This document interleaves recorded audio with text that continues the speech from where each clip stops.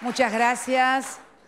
Muy buenas tardes a todos y a todas. Realmente creo que estamos, sí, como lo ha señalado el ministro de Salud de la Nación, ante un hecho histórico. Yo no quiero hablarles como presidenta hoy, quiero hablarles como ciudadana y como ex legisladora. Eh, como ex legisladora, me decía Daniel que en ambas cámaras salió por unanimidad la ley, pero me imagino lo que debe haber costado en el Senado. ¿Por qué? Es muy simple.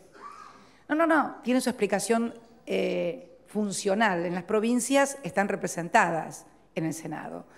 Hay eh, provincias que tienen una fuerte producción tabacalera y siempre eh, fue más difícil en el Senado por el peso específico, porque además, ¿cómo funciona el Senado?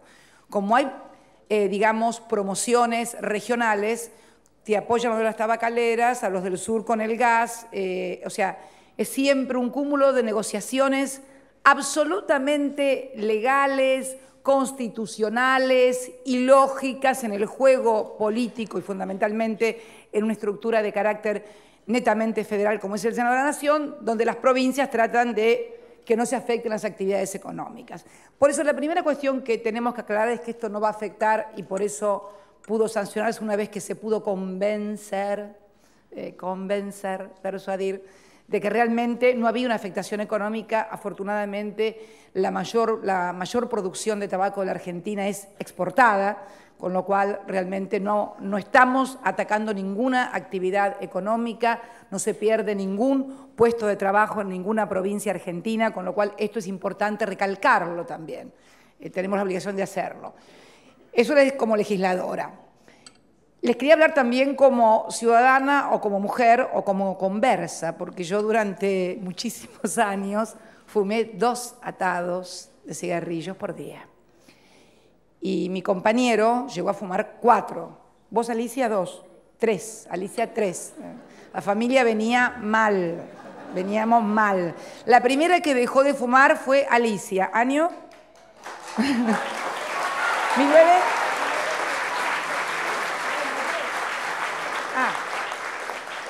Eh, no me acordaba. Ella dejó de fumar cuando asumimos en la Municipalidad de Río Gallegos, año 1987. Yo dejé de fumar un 31 de diciembre de 1988 a las 12 de la noche. ¿Sí? Esto fue porque un día charlando con Julio Devido, Julio Devido me cuenta que él había dejado un 31 de diciembre a la noche. Yo me puse que tenía que dejar ese 31 de diciembre. Fumé ese mismo día, inclusive el 31 de diciembre, uno atrás del otro. Y apagué mi último cigarrillo ese 31 de diciembre de 1988 y nunca más volví a fumar. Les cuento, les cuento que esto fue unos meses antes de mi primer candidatura como legisladora, que era el 14 de mayo de 1989, con lo cual todos hacían apuestas. Esta no aguanta porque te imaginas, previo una campaña electoral, reuniones políticas, que cigarrillo uno detrás del otro, esta no aguanta. Aguanté. Siempre que me he propuesto un objetivo, nunca me he desviado. Nunca me he desviado.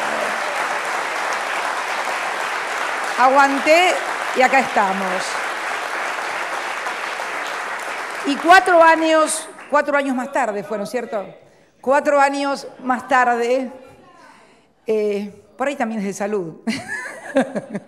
Eh, y cuatro años más tarde dejó de fumar él, que, tenía, que él además fumaba de una manera que no tragaba el humo, lo expelía todo. Entonces vivía envuelto en una nube de humo, los dedos amarillos, porque cuatro atados de cigarrillos, los dedos amarillos, el olor en la ropa, bueno, terrible. Pero quiero decir algo de lo que también significó, no sé si habrá tenido algo que ver, porque cuando recién escuchaba a Mansur decir que eh, afecta los hábitos reproductivos también, la reproducción de las mujeres. Yo perdí un bebé en el año 84. Debo decir que durante el embarazo de Máximo, mi hijo, jamás toqué un cigarrillo, nunca, jamás. En ese sentido, disciplina prusiana, desde supe que está embarazada, nunca más toqué un cigarrillo hasta que nació. Cuando nació, y Máximo se acuerda además con mucha vergüenza que me da, que yo lo mandaba a comprar eh, cuando era más chico, los atados de cigarrillos al kiosco, sí, debo confesarlo. Pero referido a esto, yo perdí un bebé eh, en un avanzado estado de gravidez, seis meses, no era como ahora que la neonatología te salva a los chicos, en aquel momento no estaba tan adelantada la ciencia, y perdí eh, un varón en el año 84. Y la verdad que intenté durante cinco años y más también quedar embarazada y no quedaba embarazada.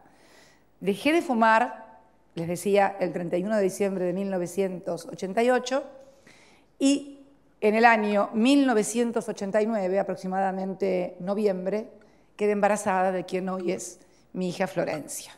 No sé si habrá tenido que ver Mansur, pero bueno, eh, está en la estadística de probabilidades, digámoslo, lo cierto es eso. Así que realmente estamos muy contentos porque además, les debo decir algo, con la furia de las conversas, porque las conversas cuando dejan se ponen terribles, me molesta que fumen, eh, estoy tratando de persuadir a dos personas que amo, las dos personas que más amo en el mundo, que dejen de hacerlo, con poca autoridad moral, porque me dicen, vos en nuestra edad fumabas, este, pero bueno, estoy absolutamente convencida de que voy a, lograrlo también eso en algún momento, pero realmente eh, creo que hay un respeto en esta, en esta norma, no es solamente una cuestión de cuidado de la salud, Daniel o Juan.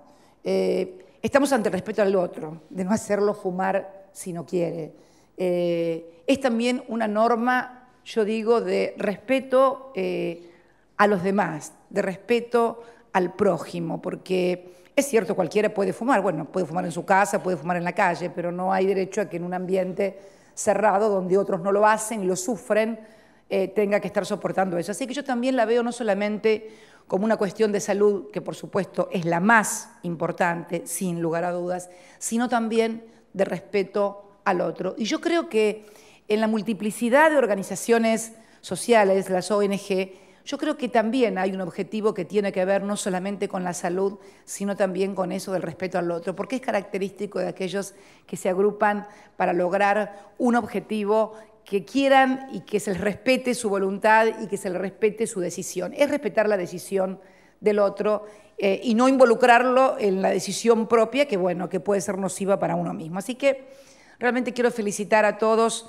los que han tenido, y a todas las que han tenido participación en este feliz final de esta ley que nos coloca un pasito más adelante en un país más saludable, en un país mejor.